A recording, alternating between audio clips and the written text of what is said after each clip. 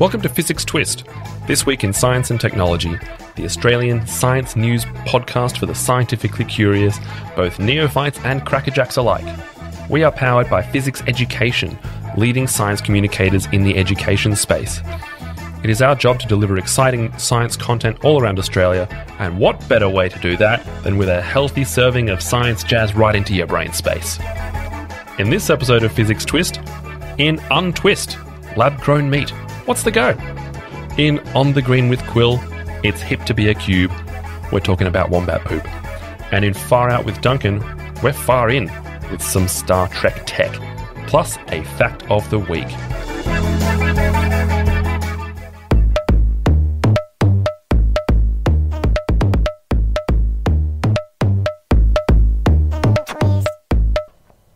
Hey, Quill. Hey Duncan, how you going? I'm pretty good. How are you? I'm great. Excellent. Um, we've got a new segment today. Ooh, what is it? It's called Untwist. Ooh, You see what we did there? Because it's like Fizzics twist, but then it's untwist. and the point of untwist, Brilliant. it's pretty good, right? The point of untwist is that we are going to talk about something that has been in the media or the sort of public sphere recently and kind of clarify what it's all about. Yeah. Because a lot of stuff that you see in science, um, about science in the media, kind of confusing and not explained very well. Yeah, so the point of untwist is to clarify and simply explain those stories a little bit better. I love it. That's the idea.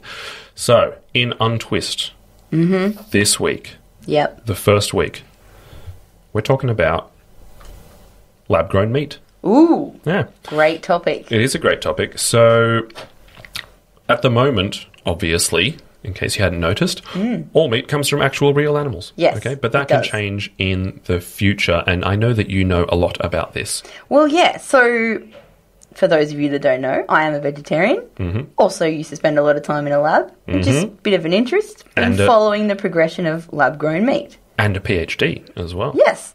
Now, the lab-grown meat thing, idea, kind of work has been going on for a long time.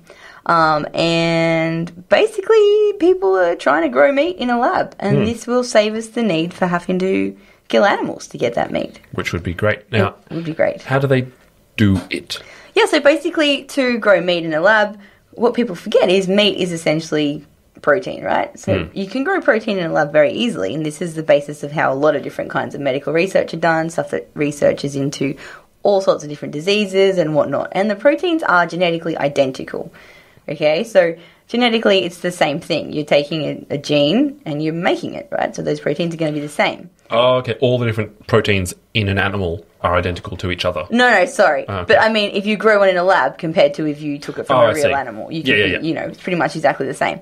So what you are producing is pretty much the same thing. So this idea of clean meat, so mad, ma, uh, meat grown, sorry, map, meat grown in a lab using stem cells. Yeah. Okay, so the cells have come from the animal in themselves, uh, or you can take cells that are um, basically haven't decided what they're going to do, and you can turn those stem cells into what you want them to be. In this case, you probably would want uh, muscle cells, right, Yeah. to start to grow meat. Because stem cells basically are like a type of cell that hasn't really decided what it wants to be yet. Exactly, exactly. And you can a- use different kinds of chemicals and different other treatments to make that cell decide it wants to be the cell you want it to be.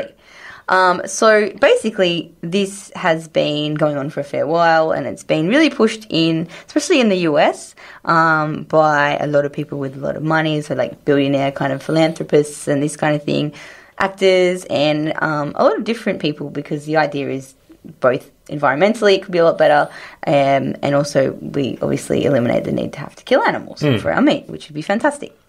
Um, so there are some claims at the moment that it could be ready by the end of the year. That's what this year. Yep. You're crazy. Yeah. You're crazy. Yeah. But there's some skepticism about this. Like Well, we're pretty close to the end of the year Yeah. right now, aren't we? It's like a few weeks. yeah. So I think that's unrealistic. Um, Got six weeks to do lab grown meat. yeah, get going. Um, and real, reality is, is up until now, uh, we don't have anything um, distinctly as a piece of meat. So what we can currently do, and there's no commercial availability yet, but what they can currently do is more to make things like mince, okay? So like a mushed up kind of meat.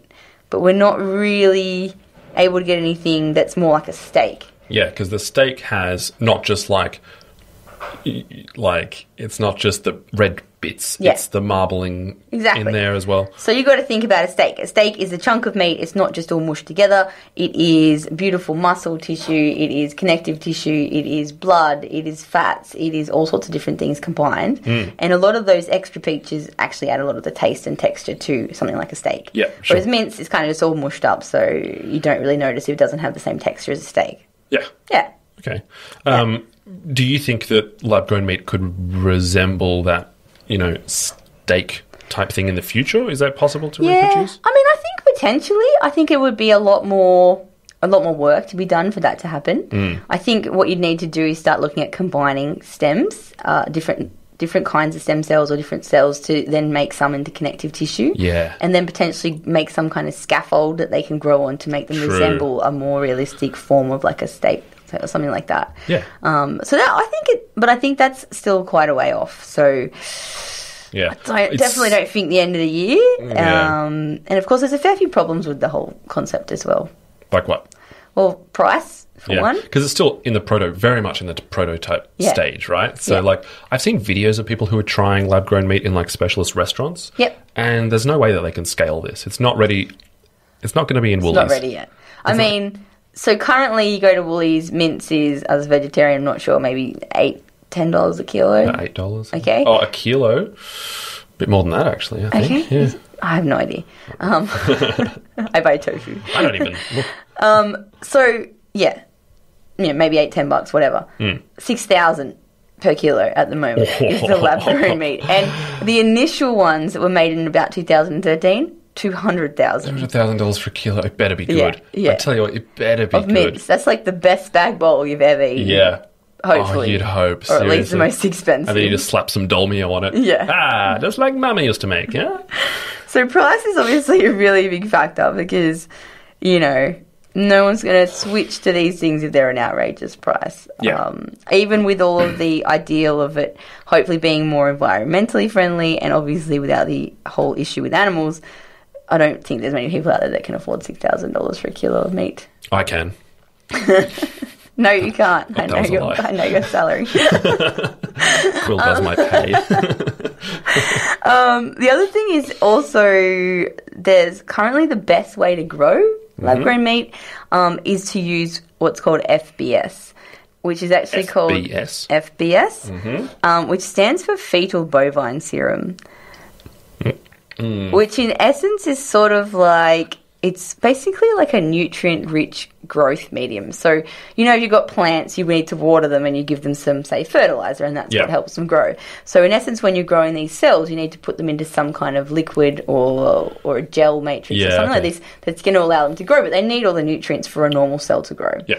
So they're taking this uh, FBS, so this fetal bovine serum. It's got all the things it needs. However, this is taken from fetal bovines. Oh, So right. Ah. it needs to be taken from an animal to grow lab grown meat. That's not vegan. No. So you can do it without using the FBS. You can use other sources.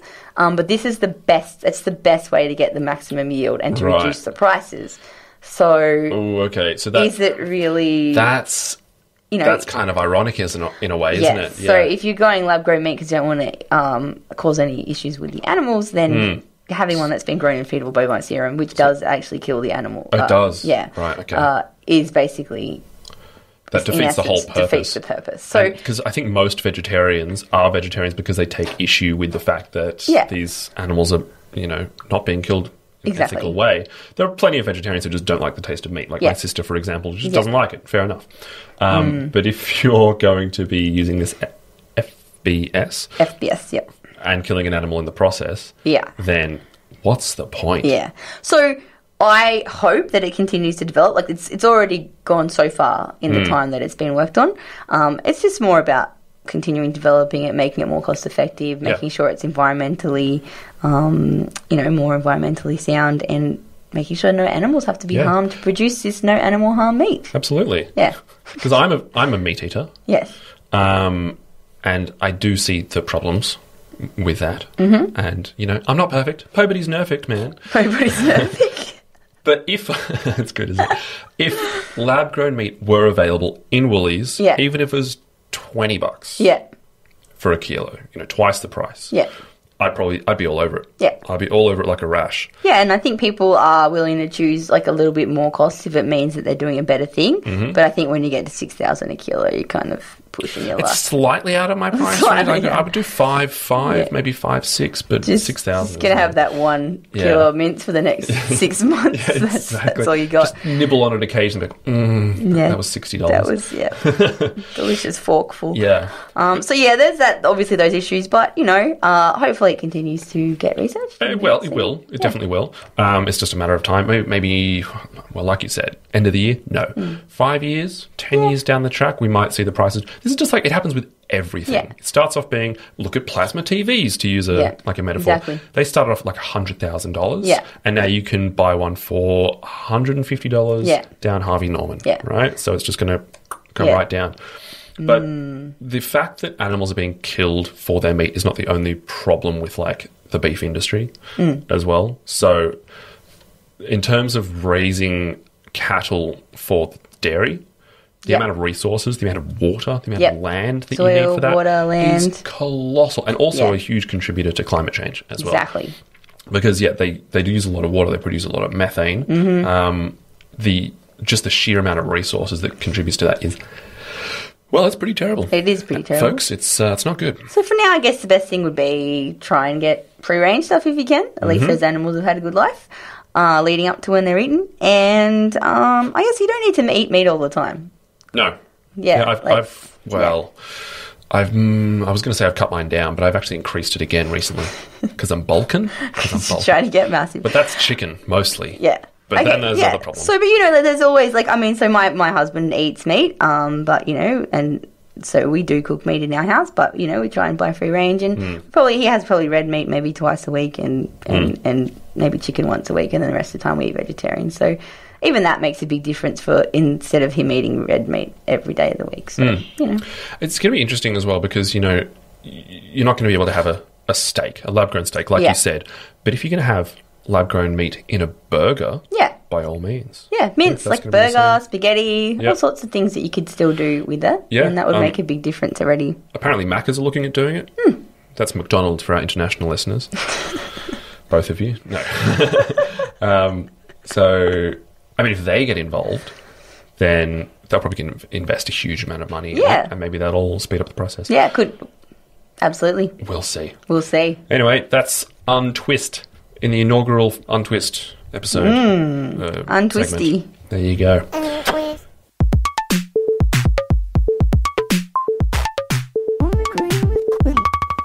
All right, Quill. Yes. We're on the green with you. Excellent. Take it away. Well, this week on the green, Hmm. we've got some animals that I wander on the green. Yeah. I like to eat. No, I don't like. To, I We're shouldn't say I not like talking eat about meat anymore. Love to eat animals. We talking about animals we like to cuddle. Hmm. Well, maybe not. So, you know when you see something and you kind of see it and it comes up on a news story and then you might hear it on the radio and then it might pop up on social media and you're kind of like, that's kind of cool, but is it real? Because a lot of fake things go on out there. Absolutely. Now this is one that's been popping up. Yeah, exactly. Clickbait. Um, and this is one that's been popping up a lot lately. And I heard it on the radio recently, and then I saw it on some social media as well. And then we thought, let's let's have a little bit of a chat about it. Mm-hmm. And this is about wombats. Love them. Love them, and their poo. Don't love it. Well, you might when you Oh. finish the story. Okay, tell it's me. pretty amazing. Okay, so wombats, right? We know them. They're cuddly little solid units. They are. They are. They're solid as. I like how you just described it as a unit. They're a unit. they are. They can mess you up. By the way, if they're if you're like burrowing in their in their burrow. Thing, Why are you burrowing? I've just heard. I've just heard that if you go into their burrow, they charge you and they'll they'll mess you up. Yeah, I'm imagining you digging one like a little dog into a wombat hole. Okay, like yeah. So if you're burrowing into their burrow, they are very solid. They Yes. are very dense. Like uh, if you like run into them with your car, don't not on purpose, but people have you know Yeah. accidentally. Um, usually the car comes off second best. Oh, yeah. In terms of getting like pulled apart. Often the wombat, unfortunately, also. But uh, yeah, they're really really solid. So marsupials, Mm-hmm. Which we know, uh, and they carry their young in a pouch. Mm-hmm. And did you know that most marsupials are in Australia, or Australasia, and also in the Americas? I feel like I know that now that you've just told me it. Mm. Fantastic. um, and I, for some reason, I think from when I was a kid, I thought we were the only ones with marsupials, which is not true. Where are the other ones? Well, there's some in the Americas. Which ones? Possums and opossums and Oh, all those of kind of things are course. some marsupials. I think monotremes, if I'm correct. We have all We have monotremes, monotremes. except I think they're also in Papua New Guinea. Well, there we go. I stand doubly corrected. Hmm. Anyway, an aside. Wombats are these things. Mm-hmm. They are marsupials, and they carry their babies. Uh, did you know they can also run up to 40 kilometres an hour? That's absolutely terrifying. Yeah. It reminds me of the scene in Jurassic Park. I realize I talk about Jurassic Park a lot, but you know where That's they're being chased by the Tyrannosaurus Rex? Yeah. You just replace the Tyrannosaurus Rex with the, A with giant wombat. And they're just like, hit the gas, go as fast as you can. But they can only do it for a very short amount of time. Okay. Yeah, not So long. I have no reason to be scared. Yeah, you, and they're actually very friendly. They're not. Oh, they're cool. not unless they're like threatened or disturbed in like a bad way. They won't really like try and charge at you. That's a bit of a myth. That's like um, me. Or you're burrowing in their burrow. um, and really interestingly, I thought also their pouches face backwards. I did know that one actually. That's yeah. pretty cool. And because they're so low to the ground, they can run super fast. But if their pouch face forward, it would basically like a dust collector, Fill right? And their poor little babies would get in stuck in a Yeah, dust right. pouch. Man, evolution. Yeah, It's an amazing thing. brilliant. Um, like when you wear your hood backwards if it's really dusty. You what? you wear your hood backwards when it's dusty. Hey, you you flip it up serious? and put it over your Are you face. nuts? You can't see where you're going. What are you talking about? Do you cut out little eye holes and put on goggles like you're at Burning Man? Anyway, um, we're talking about wombat poop here. We got sidetracked. okay, yeah. Now, they also poop cubes. they poop cubes. Cubes. Cubes. Cubes. So, uh, I don't know about yourself, but I know about myself. No cubes. No cubes. And um, so actually, it was really interesting. I was reading on livescience.com, which was an interesting place to get some interest, interesting science media, and it was actually saying, so why would you think something poops cubes? Yeah. Well, if you think about uh, yourself, or if you also think about a normal poop in most situations, it's coming from a round or cylindrical place, and this will produce round or cylindrical results. Yes. Uh, so if you would like to try this at home, um, think about Where trying to going with this? squeeze toothpaste out of a toothpaste tube. It doesn't come out as a square. Doesn't matter what you do. No, but they're not square. What? Toothpaste tubes. Exactly. Yeah. Yeah, okay. That's I see okay, I see what you're going. So they come out as a cylinder Because the, The the hole is a circle. The hole is a circle. Okay, so that's where we're going with this point. Okay. Yeah. Okay, so there's been some really cool new research from Georgia University of Technology, and they actually presented it recently at a conference on fluid dynamics. So Oh my god. pretty high end kind of research Yeah. on the way. Basically, fluid dynamics is really understanding the movement and the laws of how gases and liquids can Yeah. move. I'm pretty sure they, that comes into things like F1 when Oh. they're in like wind tunnels and Yeah, stuff like it's that. it's involved in a lot of important aerodynamics, all sorts of pretty fancy Yeah. fancy things.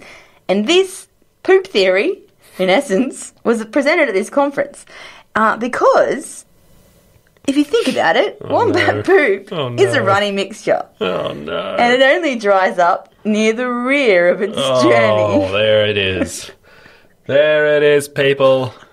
So as We've it's come full approaching, cube. as it's approaching the rear, it actually starts to dry up. So it goes from being very runny to being less runny. Mm. Now, the reason is that it's Mm-hmm. square or cubed. Sorry, is like a if you imagine like a long balloon that clowns make like things out Yeah, of the like, animals. animals or Yeah, something like out of balloon Um, well, imagine your long intestines. Okay, these have more strain on the different edges versus the long sides. So the edge versus the sides. okay. Uh, yeah, so they have more to make things strain. just make sure that they're, you Yeah. know, coming Yep, keep going correctly. that's right. So Yeah. the more strain is the reason for square poop. Okay. And what's going on is basically what what that means is more strain is not meaning you're straining you to the toilet. If that's the case, you need more fiber. Mm-hmm. More strain means you basically have got less or more stretchy parts of the intestines. So on the like corners or the edges of the of the intestines, not really corners because then you have square intestines, but in certain spots Mm-hmm. it is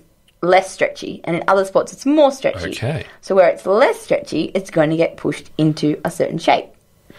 And where Less it's more stretchy, certain shape. Okay. you know what I mean? yes, yes, so, I'm so then you. you, so Yep. where it's less stretchy, it kind of is going to push it out, and then and the other and vice versa. Yep. So what happens then is basically you make little blocks, little cubes, Okay, because the less stretchy parts force it to have that a shape sharper like a kind edge. of kind of edge. Yeah, Yeah. exactly. So does that mean that the actual intestine of the wombat does have those corners in it. It's not so much that it has the corners. I think more of you imagined like a long balloon, but running along that long balloon were kind of areas where there was more rubber that was tougher to Sure. stretch, Yeah. rather like something like that instead. So it's still Mm. the same shape. It's still a normal intestinal shape. Um, but yeah, it's got like areas where there's kind of, I guess, stronger muscle Yep. Mm-hmm. or something like that. So it's less elasticy. So you get less um, kind of rounding or movement in those areas, and Yeah. it creates this kind of Oh, corner this- pattern. I can't believe we, we're doing this. I know, Yeah. isn't it amazing? so basically, it's less stretchy, and you make little box. And this is not just interesting because it's poop and it's funny, but also because this actually changes the whole new way that how people think they can make cubes. Whoa! So, what we can do is right now there's like two ways of making cubes. You either mold it into a cube or you cut it into a cube. yep. So this could actually o- open up a whole new era in poop-inspired manufacturing. Oh, great. Yeah, I Just, came up with just what term. we need. Yep. So basically, if you want to make a cube, you could do it in a natural kind of long thing with el- elasticy kind of edges or whatever, Yeah. and then make cubes. So rather than having to make molds. So you use cubes in all sorts of So things. there are right? practical applications there are for practical uh, applications for cube cubes, poops. but they don't have to be made of poop. It could be all sorts of things. You make in squares of chocolate. Ooh, okay. So So, other things. so the factory, instead of like having this like machine that cuts it all neatly, it Yeah. can just it can just poop it out. Yeah, like a big long intestine that And then poops out oh, little it could, squares. It could be runny in the middle of the machine. It only needs to dry up near the end. exactly And then near the rear. It's the right colour and everything. Well, not just chocolate. It could be anything. But the No, whole idea I think this is we're specifically for chocolate manufacturing. It's pretty much and making a whole new understanding of how shapes can be made, which is pretty fan- Out of fascinating. chocolate. Out of anything, no, No, no, no, just, just chocolate. chocolate. But- do, do you think they'll do white chocolate too? No, because that would mean they're severely malnourished. Do you think they do? No, I'm talking about like the, the chocolate companies. I know, I'm Do, joking. do, do you think they'll do fruit and nut? You're a grub. but wait, I know what you're thinking, Duncan. Oh, what is that? Why do they need square poo in the first place? Yes. Why do they need square poo? I'll tell you why. Please. Because wombats have really bad sight and really bad hearing. So if you can't see or hear very well, you know what's really great to let other wombats know that you're there, or also for yourself to kind of find where you've been? Is it your poop? A stack of cubed poop. Oh, A nice little stack poop it up tower. as well. Yeah. Yeah, right. Which is why it's square, because you can't stack round things, So they they- roll away. But squares do stack. So if you have square poo, you can stack it up and then you know where you've been, and other people go, hey, that wombat was there. Yeah, that's not my stack. go. That's not my stack stack. way higher than Someone that. else's stack. Yeah, right. So there you go. A lot to be learnt from clever animals. Yeah, we can learn a lot from those guys. from Mainly little, about the manufacturing of chocolate, but yeah. and little cubes. Little cubes.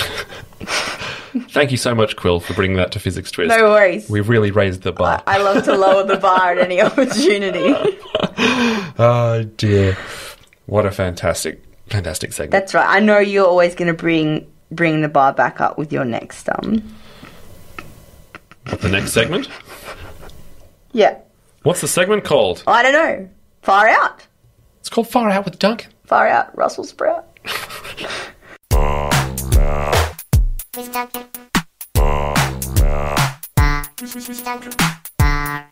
Okay, so Far Out with Duncan. Welcome, Mm-hmm. welcome to it.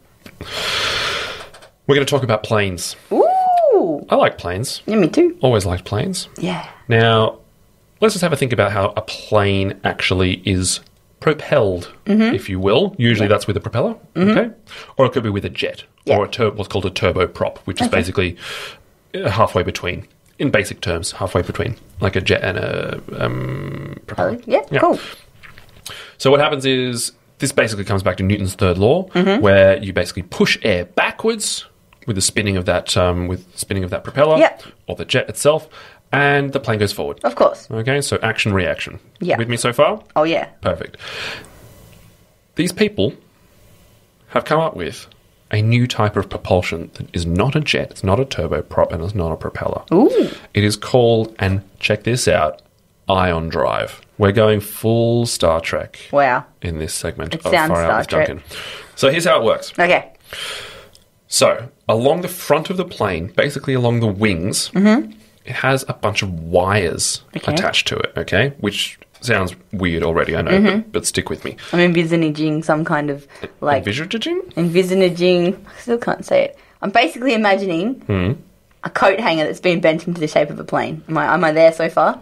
To be honest, you're not far off. Like if, if you took like you know maybe a hundred coat hangers, Yeah. and bent them all into like, square shapes, Sweet. and then kind of attach those to a wing-looking thing. Cool. That's kind of what it looks right, like. let's continue then. It's like the 2018 version of the Wright Flyer, Cool. which was the first plane, first powered plane to fly. Awesome. So it has these positively charged wires that they have 20,000 volts going through them. Okay. Mm-hmm. Ooh, a lot of volts. Yes, absolutely. And what that does is it does something called ionizing the air. Mm-hmm. Okay, and it basically strips the electrons from the nitrogen in the air because about 78, maybe 79% Mm-hmm. of the molecules in the air are actually nitrogen. Nitrogen, yep. And only about 21% is oxygen. Which is Perfect. an interesting little fact there for you. And a little bit of other random stuff. Of, yeah, like CO2. So what it does is it strips those electrons from the nitrogen Mm-hmm. uh, molecules in the air.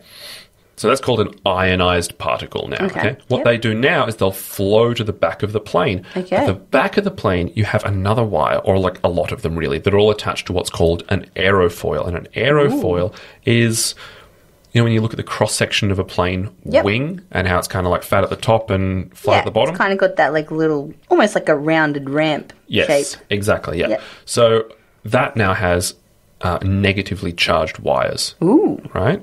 And so you have what's called a electron gradient, which I mm. know big science words, but what that mean, what that means is when you're transferring all of those ionized particles from the front to the back, they gain momentum. okay. Because cool. they're gaining momentum, you're generating thrust. Ah. Thrust is plane goes. There we go. Absolutely. Fantastic. So, what's kind of neat about this is that, well, first of all, it's powered by a battery and it's powered by a lithium ion battery, which is the same kind of battery that's in my computer right now and in my Mm. Excellent. phone. Okay, so these are like off the shelf components. Yeah, cool. It's a 500 watt battery.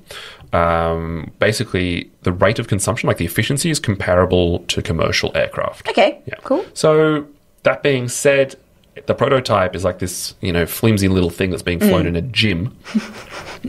so I should. I should also add at this point that it has actually been proven that it can work. Yeah. Okay, so they tested it for the first time. It flew 60 meters hmm. in about 10 seconds, 12 seconds, something like that. If you compare that, compare that to the Wright Flyer's first flight, which was in 1903 at a place called Kitty Hawk, you know how far they flew? Like 36 meters. That's not. I didn't realise that. Yeah, but it That's was still the first power It's flight. almost gliding. Exactly. Yeah. Uh, so this thing actually flew further than that using this ion drive Star Trek tech, which is crazy. That's cool. So they first came up with the idea, um, like this concept in the 1960s, and they were like, ah, probably not going to Hmm. Yeah. work, right? So producing something called an ionic wind, Yep. which is that momentum gain through the Yep. gradient, Cool. it wasn't going to be efficient enough, right? They just thought, nah, it's probably not going to happen. Lo and behold, it does. It does. Mwah, very good. I just had to wait for technology to kind of catch up a bit. Exactly. Yeah. Yeah. So, as I said, very much a prototype, Mm. but in the future, definitely could, you know, we could see it. We could see it. Yeah, now, that's cool. there was an article that I read that said we could possibly use this in drone in drones. Yeah. Guess what? Not going to work. You know why? Why? Because you need the flow of air to be going sideways. It's not going to work if you go straight up. You can't. You can't produce that kind of lift. What if you use a drone and you flew it more like a model plane instead of a Yeah, if it helicopter? was. Yeah, so the one that they actually did this demonstration with, it effectively was a model plane. Mm. It just had like a five meter wingspan. Or what if they design one where the plane, the wings can move, so that the if you were going upwards, the flow would be going downwards, and then that would propel you to go upwards. That could work. Potentially, potentially could. As far as I can tell, though, it's not going to work in drones. It would No. only work in plane-like devices because you need an aerofoil Yeah. in order for it to Yeah, work. yeah. Now, propellers are a sort of aerofoil, I guess, but because they rotate, it's not Mm. Yeah. going to work in the same way. Yeah. So whoever wrote that article, bad.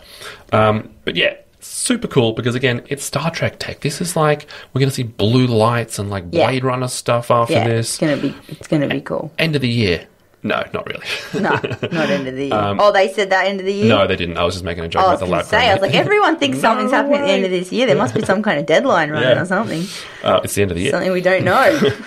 But um, the really neat thing about this is that when you think about it, this type of propulsion has no moving parts. yeah, that's good. Yeah, you just have these to be honest, fairly weird looking Mm. wires at the front of the front and the back of the plane. But otherwise, no moving parts except for what's called the control surfaces. Yep. The control surfaces are the bit that says, hey, I want to go up, I want to. Hmm. go down, I want to turn left, right, roll, all that sort of stuff. But in terms of the actual propulsion, there's no spinning, there's Yeah. no jet stuff going on. It's and less all moving parts, wires. of course, means less things breaking. Yeah. As soon as you got things moving, things break. Precisely. Yeah. You know what else? Dead silent. No noise whatsoever. So it could be used especially for like spies and like I mean, other things like You're this. really going down a nefarious kind of route Yeah. there. I was thinking more like, oh, we don't have to have a uh, what's the thing called in Sydney Airport? like airplane noise and stuff yeah, like they, that. they have like a curfew. yeah, it's like planes true. can't fly Oh, after look, ten. I meant spies like in a good way. Like I meant like I was Good save. thinking government spies, which really is a good thing. You know, like monitoring of things. sure, But- not drones. That Yeah, not like someone's dodgy drones that are watching people that they're not supposed to. That's but not, yeah, not what I meant at all. Actually, I was thinking drones that fly Oh, over like Iraq and Afghanistan and stuff. We're going to cut this. Um, you know, Rusty, our resident tech guy. Oh, right, yeah. yeah, that that Rusty, who you see every day. Yeah. Um, he was telling me before that the control surfaces, the like left, right, up, down bits, Yeah. they could be powered in the future, possibly by plasma. Ooh, Right. plasma. Plasma. Very cool. Pla- plasma, for those of you who are playing at home and didn't listen last week, is another type of like a state of matter other Yeah. than gas, liquid, and solid. Um, which sounds abs- I, to be honest, I don't understand what he's talking about, but it sounds really, really nice. It's basically charged particles that can do things by being in. so they would also kind of like a, momentum. a mash of charged particles, if Right. that makes sense. You can clean things and stuff using. I used to use plasma cleaning to clean glass for microscopy. really? Yeah, What the? You've lived this double life. I know. I've got this whole other life in my secret spy life. It was really cool. It glowed like this awesome purple, like purple space, like space Star Trek color. That's awesome. Yeah. Yeah. So Yeah. that's that's what I'm saying. You have these like glowing things flying around. It's gonna be awesome. Yeah, you basically create a vacuum in there, and then all the charged particles in there um, are like this kind of particle soup uh, in a vacuum. In a vacuum where there's no air. It's pretty cool. See, if we can do that, surely we can control planes with it. Yeah. That's all I'm saying. Um, All right, but Quill. What? hoverboards. Just Hoverboards? saying. Oh, true. Maybe they could use it for hoverboards. I didn't think of Forget that. about making drones. I want an iron charged hoverboard. Now Me we're talking. What are you doing later this week? Maybe we should look into this. Building a hoverboard Yeah, me too. out of iron charged particles. I think we've probably got enough weird like kit in this warehouse Yeah. that we can dig something out and make a hoverboard. So much stuff to build. Let's do it. All right. Fact of the week. Are you ready? I'm ready for the fact of the week. Fact now, of the this, this is your fact of the week. I don't know what it is. This is going to be very surprising. Well, Okay. was that an uncertain well? It's not so much a fact, just Okay. An interesting thing. Because I don't know if you've noticed, if you've been outside today here in Sydney, we're having a dust storm. Yes, it is currently Thursday, the 22nd of November, and we're having a big old dust storm. Mm-hmm. Yeah. So, dust storm, Mhm. big, massive orange cloud coming over this morning as I was driving Yep. up. And it's pretty dusty, not much sun getting through. Mm-hmm. Uh, so, I thought it would be interesting to learn a little bit about dust storms. Yes, let's. Okay, so let's do it. so basically, dust storms in general are caused by often by strong pressure gradients, which basically means low pressure in some place, high pressure in some place, big change. Yeah, you see the people on the Yeah. news being like, "Oh, we've got a low pressure zone Yeah. over here," and you go, "Oh no, Yeah. low, low pressure." Yeah. So in general, low pressure means um, where you've got um, fast moving air. Mm-hmm. So when you see those squiggly lines on the on the on the like the weather channel or whatever, those squiggly lines with the little points on them are usually your pressure systems. Yeah. And Does that mean you- wind? Yeah, well, it's not just wind, but it's also how much air is kind of there, I guess. So, because it's not always windy, right? So, you have high pressure and low pressure systems, and in general, you have fast. Fast air is low pressure, and slower air is high pressure air. So, when you get a difference in these, like a gradient, um, then you are going to get these these changes basically. So, it, sometimes they want to push up, they push down. Um, but what's also causing these is drought. Okay, so not what's causing the air pressure, but what's causing these The dust, dust. storms. So when you get Dust bowls. these changes in air pressure, but you get that in combined with lots of available dust because it's so dry Mm-hmm. Yeah. in droughts, and you've got all this soil uh, just kind of hanging out on top of the ground, but it's not really held in there by grass or trees or okay. anything like that. I heard this one came from Broken Hill. Yeah. And the only thing I know about Broken Hill, and I'm not even sure if this is correct, but it's dusty. It's dusty. Yeah. yeah, exactly. And and so um, these dust storms are often caused. You might see them out in the deserts and stuff like that. So these Mm-hmm. big sandstorms and dust storms, similar kind of idea. Um, we had a really bad one in 2009, oh, we did, didn't we? and this was a quite a bad drought year as well. Um, and and that actually was a really bad one. In fact, so far it looks like it was much worse than what we've had today. But Yeah, they we haven't maybe seen the whole. I don't know. We haven't seen the whole one yet. That's true. I heard on the radio they were saying it could be comparable to the one in 2009. But Mm-hmm. Yeah. to be honest, I was outside all day teaching an eco summit, Yep. which was fantastic, and um, barely noticed a thing. Hmm. Okay. To be honest, it was like very briefly it got a little bit dark, and otherwise it was Yeah. like, eh, Yeah. it's all right, just grey. Yeah. So maybe we don't know. Who knows? We might have to add in something tomorrow. We might suddenly to see we're white with dust Totally. again. But Yeah. um, so far it hasn't been as bad. 2009. So in 2009, uh, there was really really bad drought. We had one that again started in the centre of Australia, and it blew kind of across to all the places on the east coast. Now this one was 3,450 kilometres across this dust storm. Now Wow. I know what you're thinking. I'm thinking, how many, how many football fields is that? Exactly. And I knew that's what you were thinking. So it is around 37, 729 football Wait, fields. 37, 729, so That- 37,729 Oh, yeah. 729 football fields, yes. more or less? Yeah. Exactly. Give or take a field. Yeah, yeah, right. That's a lot. That's, yeah, it's a lot. I 37,729. think we need another, like, way of comparing this, because 37,729 football fields is just blowing my mind. Yeah. Well, do you have another way of comparing No, I that? don't. Okay. I have no idea. What's many longer than a shoes football is that? Yeah. No, but then it's just going to be like a million shoes. Yeah. It just means nothing. I wonder how much of New South Wales it covered, because that's massive. Yeah. I mean, what is it? It's about, from Sydney to, say, the border of Queensland, it's about 900 kilometres. Yeah. So that is would have That's covered almost the whole east coast, right? That's nuts. Of almost the whole east coast of Yeah. Australia. How does that make any sense? Because it's only a thousand from here down to Melbourne. Can we get a fact check on this, please? Fact check. So, pretty crazy. That Yeah, was a really very, crazy. very big dust storm. Pretty much covered the whole east coast of Australia. And you know what was actually quite, not funny, but um, people were a little bit worried that it might have been radioactive.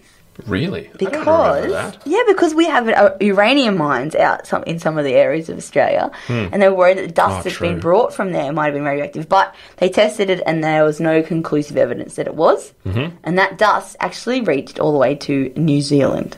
Good lord. Hmm. Just a lot of dust, Good lord. and that's why it's so important that we look after poor- our planet So, man, that's great because we export all kinds of things to New Zealand, like sheep and Hmm. so they can have our dust. Eat our dust, New Zealand. yeah, there we go. That's funny.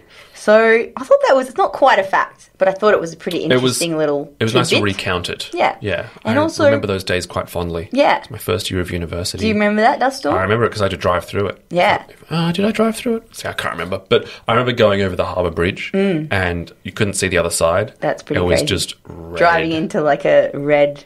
It kind Yeah. of reminds me of some kind of doomsday movie. 100%. Yeah, Yeah. crazy.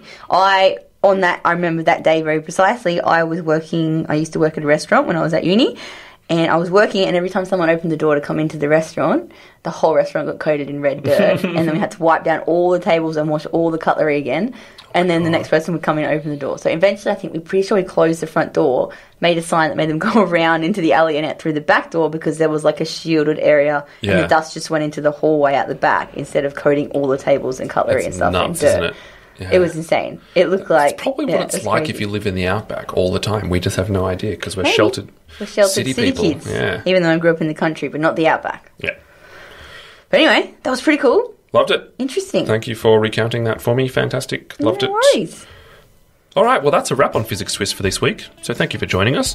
And don't forget, you can meet the wonderful people of Fizzics at your school or your vacation centre, or even your birthday party, science party. They rule, actually. Um, and to do that, just go to fizzicseducation.com.au, or I think you can even go to just fizzics.com.au, which is F I Z Z I C S. physicsquest.com.au. Um, and also, if you like this, please just chuck us a little uh, rating on iTunes. that That'd be really really helps us out. That'd be great. Mm-hmm. And um, I guess we'll be back next week. Oh, don't forget to check out the Fizzics Ed podcast as well, run by Ben Newsome, CEO and company director, all round nice guy. Mm-hmm. Cool beans. All right. Thanks, guys. Bye bye. Catch you next week.